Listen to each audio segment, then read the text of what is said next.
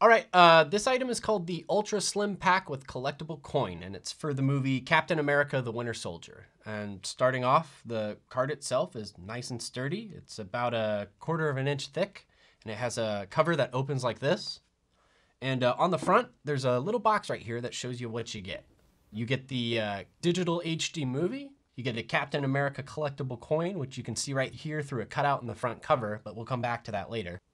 As always, you get your Disney Movie Rewards points, which I believe you get through Disney Movie Rewards, and you'll get the full set of bonus features, which is the same as the Blu-ray disc. Also, the title of the movie is printed on the spine, which is nice if you wanted to add it to your collection on a shelf. So let's open the cover and uh, take a look at it. Okay, uh, on the inside front cover, there's a full color image of all the Marvel characters, and right above them it says Captain America, collect all seven coins, which is cool because that means this is the first one in a series of Marvel superhero coins. And uh, the other collectible coins are listed uh, here along with their movies on the side.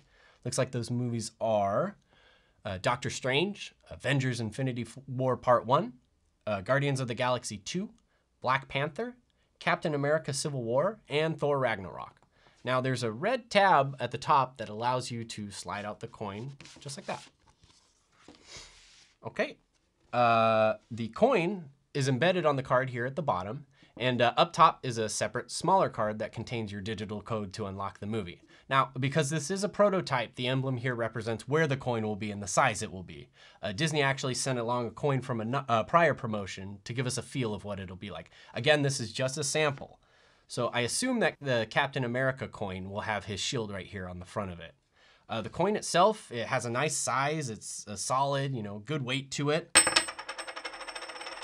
And it sounds good too.